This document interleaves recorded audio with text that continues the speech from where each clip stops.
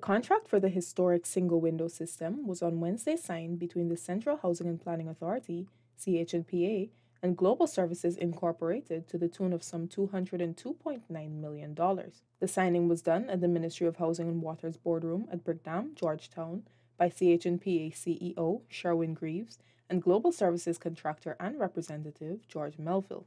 This is truly a transformational uh, project, initiative, solution for the ease of doing business in Guyana.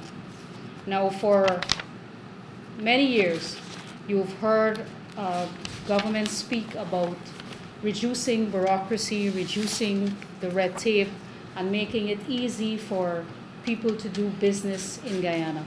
And this is a demonstration of that commitment. So this IT platform, followed by the legislation that, that will be passed and that will be made law, will allow for a single window for planning and building permits. Minister within the Housing and Water Ministry, Susan Rodrigues, outlined the cumbersome process that exists at present and reiterated the relief that the single window system will bring to entrepreneurs.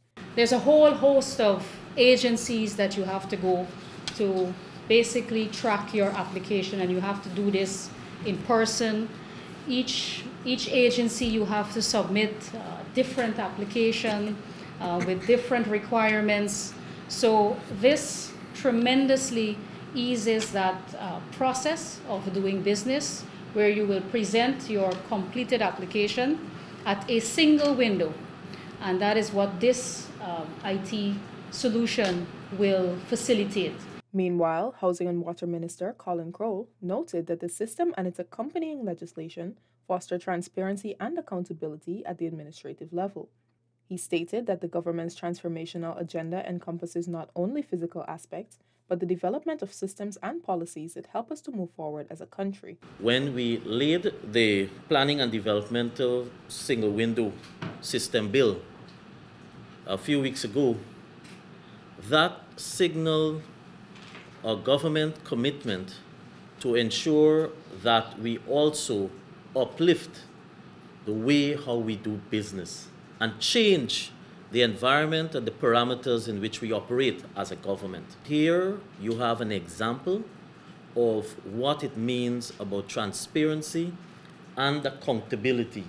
Because throughout the process, at every stage, we have accountability in terms of responding. The implementation of the single window system forms part of the government's efforts to create a business friendly environment and reduce the hassle of doing business. It is expected to be online by early July 2023. A hybrid system will be employed in the initial stages, and the transition will gradually be made to a fully electronic system.